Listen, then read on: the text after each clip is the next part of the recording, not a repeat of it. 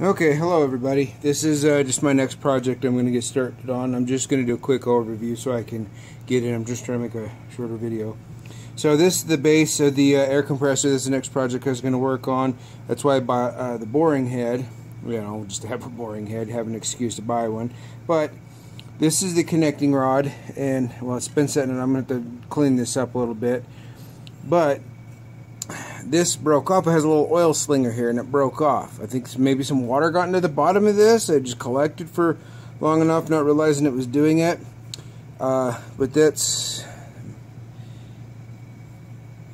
it's all gummed up or you know from not lack of oil and stuff the rings and everything the cylinder wall looked okay so I'm going to roll with it and hopefully it'll work out I don't know if I'll need to put a little bit of hone on it but what I'm going to try to do is do what they normally do with uh, with connecting rods, treat it just like a regular engine, is to, you know, um, face it down a little bit, a couple thousandths maybe from each side, and then it'll close it up, and then I can just uh, take the boring head and just uh, open it up and make it to the, the proper size, and then I can clean this up. It's been sitting out and getting some stuff in it, but that's my plan. This is the next project. This is the connecting rod, the piston from this air compressor unit.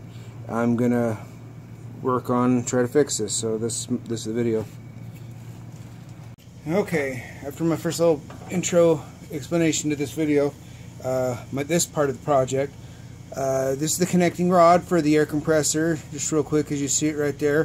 What I'm to do is try to do this with the boring head resurface that. But in order to do that what they do with the engine building uh, you know V8 or small block Chevy or whatever, those kind of engines, they uh, shave this down a little bit and then you have to re uh, center it. So uh, this is just one, it doesn't spin that fast I don't believe, so I don't think uh, taking out a little bit of here just to resurface is going to make much of a, any sort of imbalance problem. But uh, this what I'm going to do is I'm just going to do a couple skim cuts, probably take a few thousandths off each side. It'll be sort of oval and then I just open it up with a boring head and it should be where I need it to, as a repair. There's no bearings because this is an aluminum connecting rod and uh, and these kind of small engines they don't have bearings. This is just aluminum. So here we go.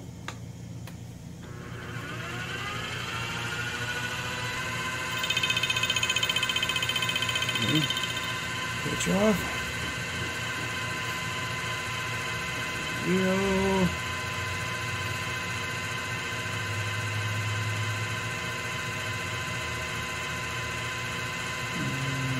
I'm going to do five, try to do five on either side.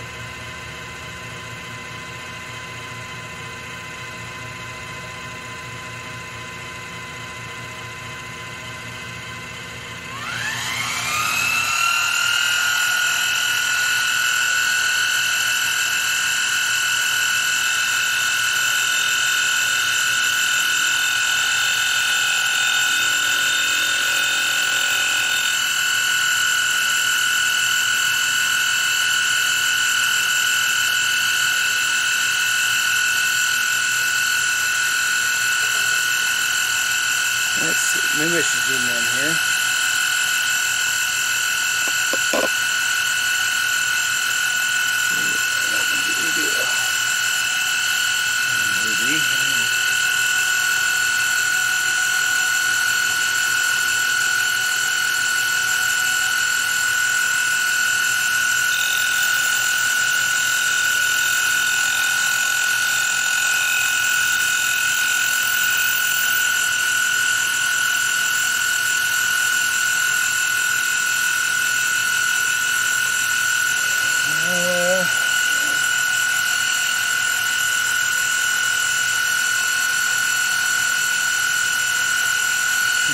that's very much. I think I'm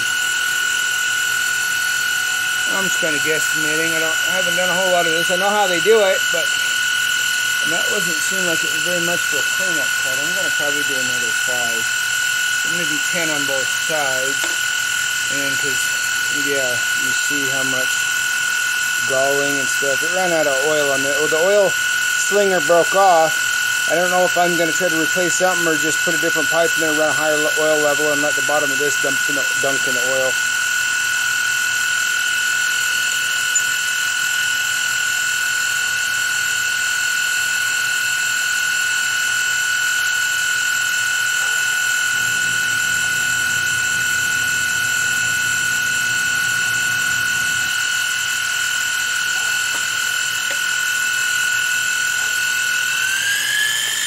Get a real good surface finish and go a little higher.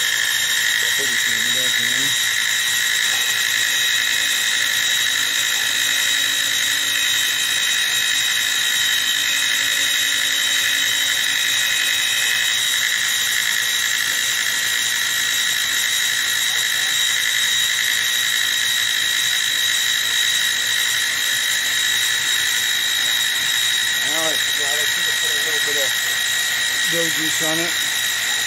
Don't usually do aluminum though. Just got a bunch of chunks of steel everywhere, so I usually use steel, even in this mill. And lay the that.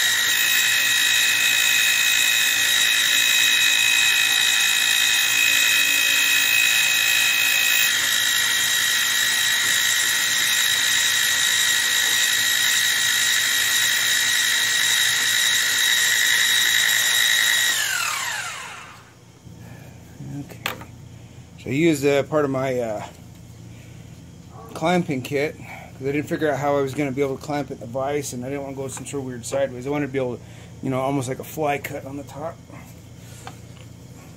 Yeah,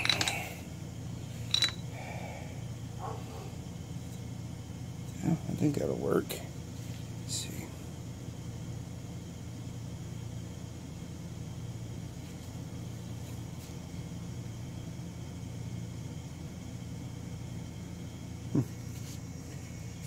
Okay, well I'm going to pause this. I don't have to waste a bunch of time. I'm going to set the next, uh, bo the bottom piece up in here uh, for that.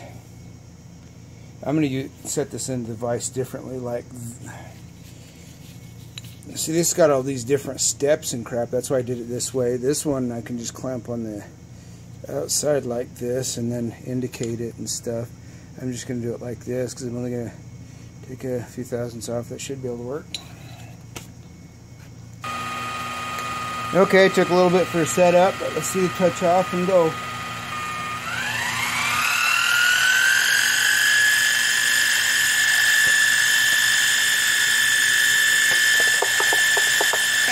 like my, I just cut down, uh, I'd like one of those other ones, it's like six bucks, I put WD-40 in it.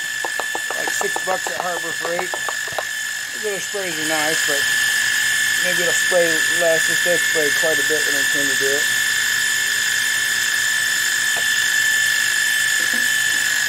Now working. I mostly got it for cleanup, not so much for this.